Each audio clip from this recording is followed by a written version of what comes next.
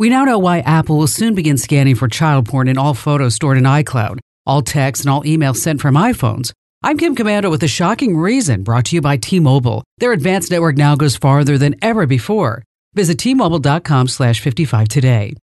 Child porn is so prevalent that Apple's anti-fraud chief, Eric Friedman, stated that Apple is the world's biggest platform for distributing child porn. The website 9 to 5 Mac reports that not only did Apple admit this, but also admitted that Facebook, with all its faults, does a better job at detecting and deleting child porn than Apple does. 9 to 5's Ben Lovejoy then raises an important question, which I agree. How could Apple have known the lousy job it's doing with child porn if it wasn't already scanning iCloud accounts?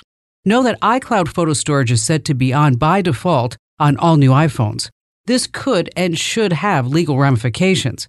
What exactly does Apple know, and when did it know it? Get breaking tech news at komando.com. This show is over, but a new one is within reach. Get Kim Komando Explains wherever you get your podcasts. You're going to love it, and you're going to learn something new. I promise. What are you waiting for? Time's a wasting.